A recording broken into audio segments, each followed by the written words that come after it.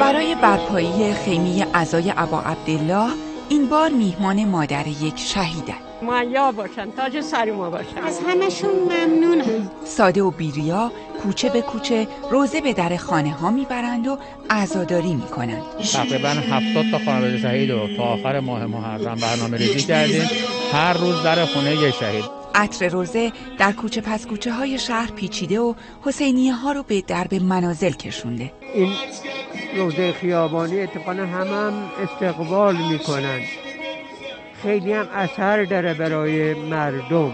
اکثرا اونایی که نمی‌تونن خونه بیان بیرون بعضی دلشون به اینه که تو این روزه ها شرکت کنن. بیرون اینطور رایت کنن بهتره. ما صده و خیلی فاصله و اینا دست همگیشون درد نکنه. حالا کوچه ها صحنه متفاوت اما پر رونق از عزاداری های محرم شدند هیئت های امام حسین دست بردار نیستیم. از همون روزه های خونگیه که ما رو به جاهای بالاتر راه میدن انشاءالله. فاصله ها رو رعایت کردیم. ماسک هم می‌زنیم و در فضای بازم برگزار میشه. هم دو طرف بازه هم فاصله ها تقریبا رعایت شده. مردم هم فهمیدن که باید چجوری رفتار کنن. پیر و جوون همه پای ثابت این مجلسن.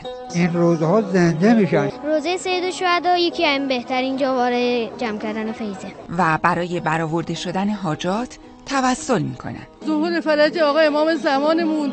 برطرف شدن این بیماری. و حق امام زمان همه مریضا رو شفا بده. ما را دعا بکنن. در روز قیامت ما شفاعت ما را بدن. چراغ عزاداری امام حسین در کوچه های شهر هیچ وقت خاموش شدنی نیست. سوگواران حسینی با حسن رفتار در رعایت شیوه نامه های بهداشتی می‌تونن الگوی قابل تفسیر برای هیئت ها در ایام محرم باشن.